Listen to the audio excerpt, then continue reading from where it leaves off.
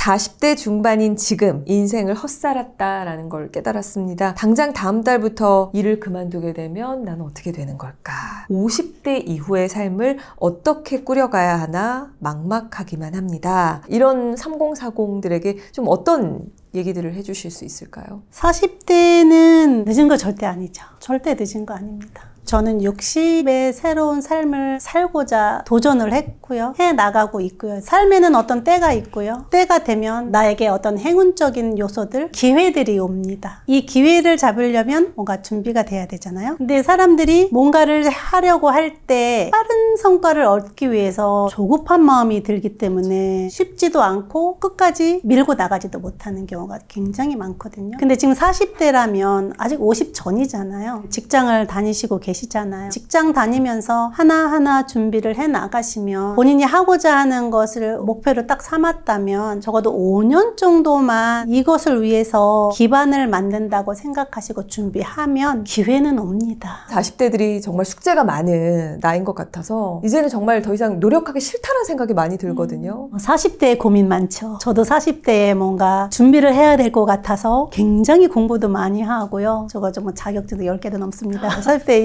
의해 정말 많은 것을 했습니다. 그때는 이제 유치원 일을 땄고 아이들 가르치는 것은 제가 되게 좋아하는 일이고 필요한 것을 정말 많이 땄거든요. 뭐 아동 심리학, 심리 상담사도 따고 방과후 학교, 글쓰기 지도사 뭐 별거 별거 다 준비가 되어 있었어요. 이렇게 삶의 굴곡을 맞으면서 아, 아무 소용이 없구나. 변한 고생을 했네요. 뭐 하고 싶지 않아. 이런 생각 정말 많이 했죠. 근데 지금 보면은 60에 뭔가를 또 시작을 하잖아요. 난 60에 또 뭔가를 시작해야 돼. 하, 도대체 이게 뭐 가능해? 그동안 내가 해온 건 뭐고? 근데 그거 하나도 못 쓰고 있잖아요. 그럼에도 불구하고 앞으로 남은 삶을 생각했을 때 아직까지 나는 뭔가 해도 괜찮을 나이일 것 같았어요. 책을 써야겠다고 마음을 먹었는데 갑자기 쓸 수 있는 건 아니잖아요. 그래서 배우는 곳이 있어서 갔더니 55세까지밖에 신청을 안 받는다. 미안하지만 받지 않겠다 이러셔가지고 그때 되게 좌절이었죠. 어, 난 이걸 하고 싶어서 내가 정말 목표를 세웠는데 안 되는 거네. 어, 그래 그래도 난 이거 하고 싶다는 생각이 굉장히 많이 들어서 제가 여기서 원하는 대로 하겠습니다. 60세에 쓰면은 65세에 뭔가가 이루어질 텐데 그 그때 가서 너무 늦다고 생각하시는데 해보겠다. 일단 해보겠다. 수강료를 내고 배웠죠. 하나하나 해 나가니까 어떤 기회들이 오고 그 기회들이 나를 성장시키고 그 기회에 의해서 지금 여러분 앞에 말씀을 드리는 거잖아요. 40 너무 어려우신데 또 힘내세요 하는 거 좀 안타깝긴 하지만 그래도 60에 시작하시는 것보단 낫잖아요. 온라인 안에서 정말 여러분들이 조금만 노력하시면 오늘 블로그 한 개 썼어. 인스타그램 인스타그램 릴스 하나 올렸어? 그게 여러분의 커리어가 되는 거예요. 너무 잘하려고 하지도 말고 하나하나 쌓으세요. 여러분들이 한 걸음 한 걸음 벽돌 한 장 쌓는다 생각하고 정말 눈물을 머금고라도 하셔야 됩니다. 그래야 여러분들이 50이 되었을 때, 60이 되었을 때, 아, 내가 그때 하길 너무 잘했어. 이 말씀 나오실 거거든요. 저와 함께 작업을 하시는 분이 계신데 74세이십니다. 저에게 컨설팅을 받으러 오셨는데 깜짝 놀랐습니다. 책을 쓰시겠다고. 그랬더니 이분이 하시는 말씀이 앞으로 90, 100살까지 살 수도 있는데 내가 90살까지는 뭘 해야 되겠다. 내가 지금 74세이지만 지금 시작해서 15년 동안 나 일을 할 거야. 그러니까 나를 가르쳐 주세요. 이러셔가지고 제가 가르쳐 드리는데 책 초고를 완성을 하셨다는 거.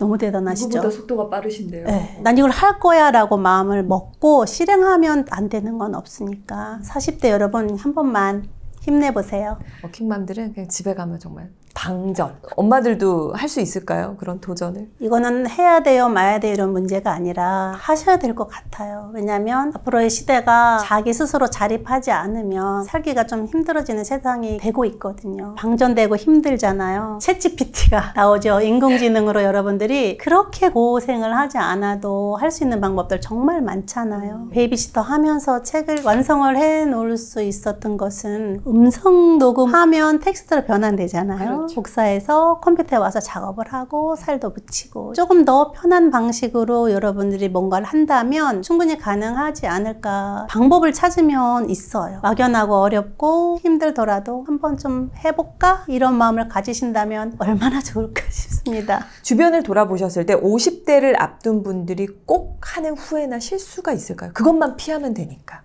약간 조급한 마음이죠. 빨리 뭔가 결과를 얻고 싶어서 조급한 마음 때문에 실수를 많이 하게 되죠. 어차피 지나고 보면은 그게 그렇게 조급하게 하지 않았어도 나한테 올 것은 올 거고 안 올 것은 안 오는 건데 내가 너무 조급했다 이런 생각들 하는 것들 좀 있고요. 50대 늦은 감 드는 거 지금 당연하죠. 그렇더라도 좀 천천히 갔으면 좋겠어요. 하지 않아야 될 투자를 한다든가 돈 많이 벌어준다는데 혹해서 또 이렇게 좀 신중하게 생각 해서 하면 좋고요. 저희 주변에도 퇴직하시고 불려보기 위해서 투자를 했다가 손해보신 분들 좀 많이 있고요. 네. 패스트푸드점 있잖아요. 노신사분들이나 이렇게 모여 계세요. 소리가 들리니까 들어보면은 어디에 지금 뭘 투자를 해야 된다. 그러다가 정말 손해보신 분들 정말 많거든요.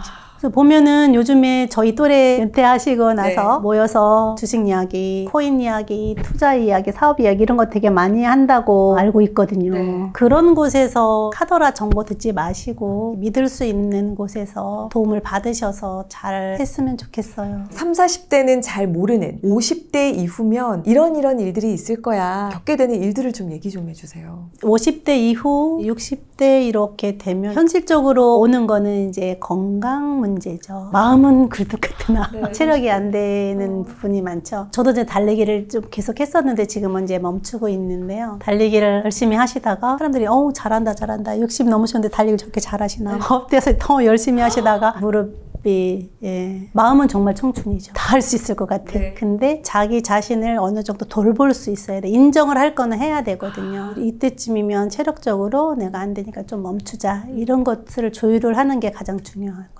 뭔가 또 좀 좋아지는 것도 있지 않을까요? 자유로운 시간이 많이 주어진다는 거죠. 할 수 있는 것들도 많고. 그럼에도 불구하고 5, 60대 넘어서 은퇴를 하시고 가장 큰 고민이 뭔지 아세요? 오늘 나 뭐 하지? 이거 굉장히 큰 고민이에요. 할 게 없는 거죠. 이게 가장 큰 고민이고 이건 누가 해결해 줄 수 있는 문제도 아니고 40대 어렵죠. 50대 어려워요. 그러나 60대 이후의 삶을 내가 뭐 하지 하면서 방황하지 않으려면 일거리를 하나 만들어야 된다는 거죠. 돈을 벌면 너무 좋죠. 근데 돈을 벌지 않더라도 내가 즐거워서 할 수 있는 일을 한 가지 뭐라도 해야 된다는 거죠. 그게 되게 슬프지 않아요? 그 말씀을 들으면 아, 그래 인생은 60부터 뭔가 도전을 해야 될 것 같지만 이제 와서 뭔가를 준비하고 시작하기에는 늦었다라는 생각이 제일 먼저 들거든요. 근데 요즘 그거 아세요? 새로운 나이를 계산하는 방법 아세요? 고 박완서 선생님께서 말씀하신 건데요. 본인의 나이 곱하기 0.7을 하는 거예요. 요즘 시대에 살아가는 사람들의 나이가 된다는 거예요. 근데 그게 진짜 맞을 것 같은 게 30년 전, 40년 전이랑은 체력도 다르고요. 경제 활동하는 수준도 다르고요. 아마 이 중위 나이도 많이 달라졌기 때문에 0.7을 곱하는 게 맞을 것 같아요. 제가 0.7을 곱해 보니까 48세예요. 어머, 40대시네요. 저도 이 나이를 계산을 하면서 아, 내가 48세? 되게 젊네? 잘할 수 있을 것 같아요. 힘이 생기더라고요. 여러분도 지금 40대 고민이시잖아요. 0.7을 곱하시면 뭐 얼마나 똑같은 나이예요. 네. 도전할 수 있잖아요. 한번 해보세요. 절대 늦은 거 아니고요. 이뤄놓은 거 없는 거 아니고요. 여러분들이 하나하나 지금까지 살아온 그런 경험들 이런 게 여러분의 자산이 되는 거고요. 조금 천천히 잘 생각해 보시면 본인이 가지고 있는 재능들이 얼마나 많은지 아마 아실 겁니다. 오시는 분들 상담을 해보면요. 정말 많은 것을 가지고 있습니다. 그 중에서 하나라도 꺼내서 해보세요. 그게 여러분들이 노후에 큰 자산이 될 수 있다고 저는 생각을 합니다. 늦었다고 생각하는 분들 정말 많습니다. 늦었다고 생각하면 늦죠. 근데 지금 시작하기에 딱 좋다 생각하면 시작하기에 딱 좋지 않겠어요? 어떤 마음을 가지고 이것을 시작하느냐 여기에 따라서 많은 것이 달라지잖아요. 재벌가의 사람들은 고민 많이 안 합니다. 자기가 하고자 하면 그냥 해요. 그래서 성공한다고 저는 생각을 하거든요. 많은 고민을 하고 많은 것을 배우려고 무지 노력을 하지 않으셔도 된다는 말씀이에요. 자, 여러분들 보세요. 성공한 사람들 이유 달지 않아요. 그냥 합니다. 이유 달지 마시고 힘들다고 찡찡대는 거 끝내시고 해보세요. 작가님께서 이렇게 조언을 하신 자격이 있는 게 직장인 생활도 하셨죠. 주부로서 또 아이들 열심히 키우시다가 또 현재는 시니어 선배로서 인생에서 제일 최전성기를 지금 60대에 보내고 계신 게 아닐까. 첫 시작은 어땠어요? 처음에 확신이 없던 시절. 하루하루 살기 바빴죠, 뭐. 희망이란 건 별로 없었고요. 그냥, 아, 이렇게 사는, 거- 우리 다 그렇게 살잖아요. 열심히 돈 벌어서 살면 돼. 열심히 직장 다니면 돼. 어, 열심히 책 읽고 자, 자기 개발하면 돼. 그 너머의 것을 볼 수가 없으니까 계속 공부하고 또 공부하고 또 공부하고 계속 그러잖아요. 제가 재벌가에 있으면서 이 사람들을 보면서 아, 저 사람들은 왜 저렇게 잘 될까? 이거를 해야 되겠어 라고 하면 그걸 밀고 나가서 성사를 시키더라는 거죠. 그런 것들을 배웠던 것 같아요. 할 수 있는 거잖아. 내가 한다면 할 수 있는 것 같아. 나 자신을 믿는 거죠. 그러니까 내가 할 수 있어. 그리고 그것을 해 나가면 되는 거를 이제서 느끼는 거죠. 64세에. 그러니까 40대 할 수 있어요. 내가 60대 이런 삶을 살고 싶어라고 계획을 세운다면 그냥 천천히 그걸 이루려고 노력한다면 충분히 가능하지 않을까요?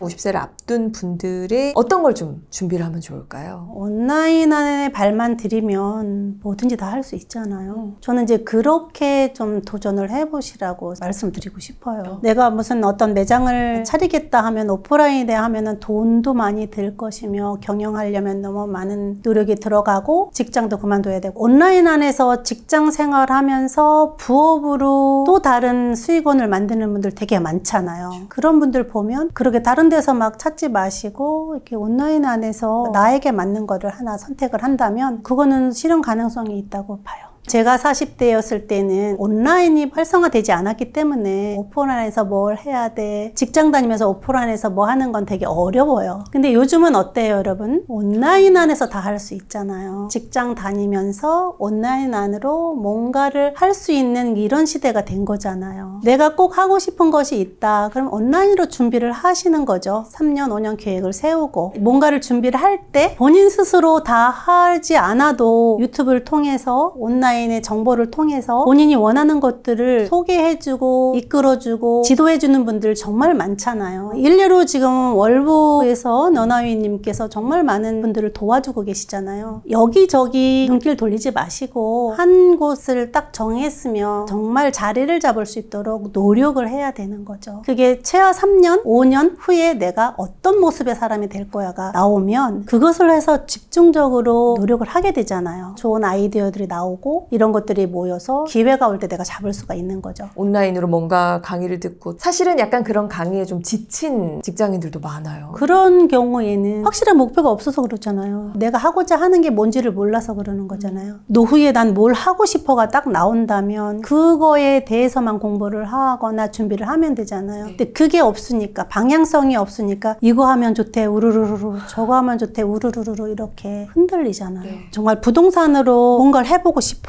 그럼 어떻게 해야 돼요? 부동산 공부해야 되잖아요. 그 목표가 확실하잖아요. 이렇게 이렇게 한번 해보세요. 쫓아 해보는 거죠. 그러다 보면 이게 파이가 넓어지는 거고 본인이 원하는 걸 갖지 않을까요? 근데 이제 이걸 못 믿으니까 이랬다 저랬다 막 이러다 보면 맞아요. 시간 낭비, 네. 돈 낭비, 에너지 낭비 이렇게 되잖아요. 온라인에서 여러분들을 이끌어줄 분들이 분명히 있으십니다. 꼭 잡고 해보셔도 나쁘지 않다고 생각하거든요. 너무 많은 걸 갖고 있는데 박사 코스 해야 될까요? 이런 분들 정말 많아요. 여보세요, 제발 그만 멈춰. 지금 가지고 있는 거 뭐 있어요? 그러면 저 뭐도 했고요, 뭐도 했고요, 뭐도 했고요. 최하 세 개에서 다섯 개는 나와요. 자기가 잘하는 재능이. 그럼 이것 중에서 제일 먼저 하고 싶은 게 뭐예요? 이것도 하고 싶고요, 이것도 하고 싶고요, 이것도 하고 싶고요. 이제 다예요. 그럼 이제 계속 물어보죠. 세 개 중에서 두 개, 두 개 중에서 하나. 그러면 이거 하나로 인해서 뭘 밖으로 내놓을 수 있겠어요? 라고 물어보죠.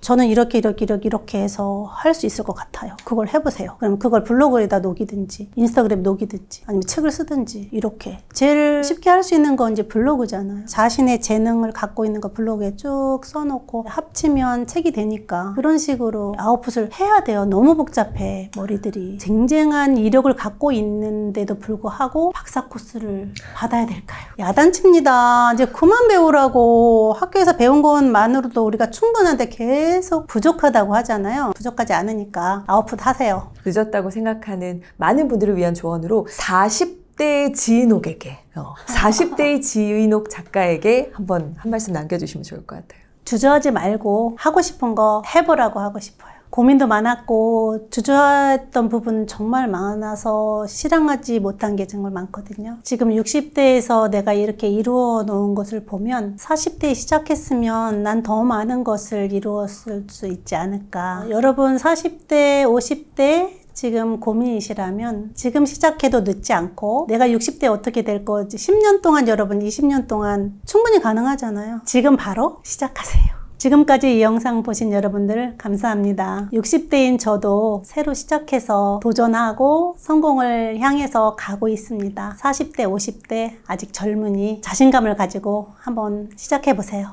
사랑합니다.